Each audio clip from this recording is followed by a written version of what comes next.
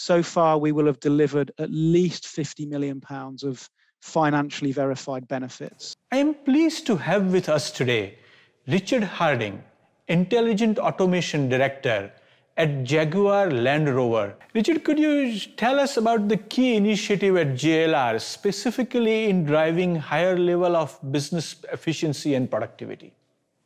Yeah, I mean, JLR for, you know, unfortunately for a good two or three years, we've had a big drive around efficiency, productivity, you know, particularly how we manage cash. A lot of that is the economic circumstances and also obviously the, the, the horrendous COVID pandemic. Um, a key part of that has been, if you like, the, the growth in awareness and opportunity around automation. Um, even sort of two years ago, I took a proof of concept to our chief financial officer, and and he's been fantastic. He really got it straight away around this could be something that really drives efficiency. So, um, you know, a long story short, the automation team and the automation capability, particularly originally for us, RPA, pure RPA, but moving forward, a, a whole different capability with you guys actually. Um, we, we, we've delivered a lot of efficiency and a lot of benefit for the business. Um, I think the key thing, though, for me, Mihir, is that RPA is not seen as a threat to the workers.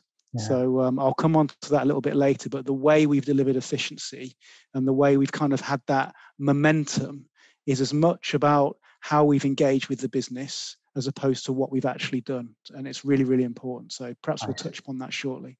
I see. Sounds like it is a top-down initiative at JLR with, this, with your CFO sponsoring it as well. Yeah, absolutely. I mean, I guess initially it was myself and you know two or three fantastic people in the team doing a, a, a proof of concept with some seed funding.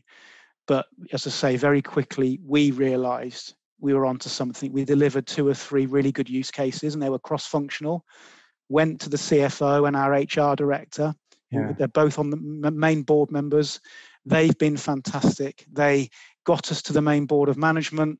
We we we came up with a proposal we got the investment and and it's really sort of snowballed from there we now have more sponsorship from the top than you could almost wish for which yeah. is fantastic it gives us a real platform we've created a digital business unit which intelligent automation is a key part of you know and and, and we've got huge ambitions huge targets and a huge level of confidence and sponsorship that we will deliver. No, no, no question. Yes, it sounds like you have measurable objectives set along the way to measure what you are achieving.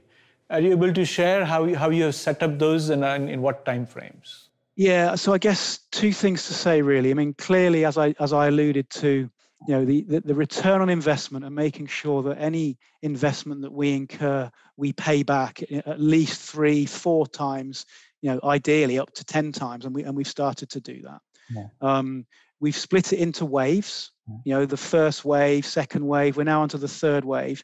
So far, we will have delivered at least 50 million pounds of financially verified benefits. That is and, awesome. And, and that's in addition to, if you like, the, the, benefits of the people who are no longer doing the mundane things. Yeah. What else are they then doing for the company, the workforce experience, I mean, it's pretty phenomenal. What, what I would say, Mihir, is a, is a key thing, though, is how we've ensured that finance measure the benefits. Um, because it's no good us saying we've we've saved a squillion pounds or a squillion dollars if no one believes you. So it, I think getting finance on board is really really important. You are absolutely right. It's so important for business and finance in specific to recognize these benefits and acknowledge them. And then, as you pointed out, it becomes a self fulfilling prophecy funds itself.